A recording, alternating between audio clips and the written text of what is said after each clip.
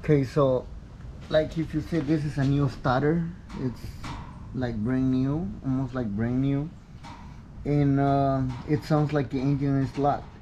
You will hear on that video right there, in that piece of the video, clicking noise. So if you got a brand new starter in there, and then it sounds like your engine locked up or something, so you better do a double check so right now that's what we're doing because this is a new starter and uh, so we're gonna check back again make sure because we believe the starter is bad and I know that it's bad.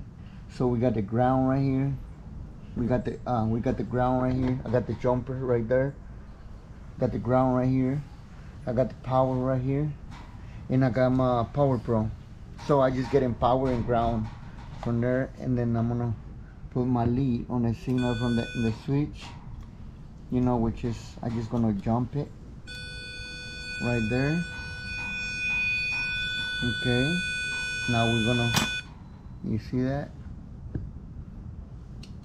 Hold on let me, let me bring it back. Now you will see.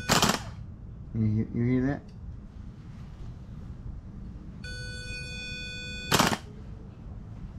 You hear that? So some reason the solenoid it's not kicking in right. See that? So yeah guys, so because it's neo that don't means that it's gonna work the right way. So just do a double check before go deeper into whatever you think it is. So yeah, that's the way and then that's the way you test the starter. So yeah guys, I'll see you next time. Mm, bye.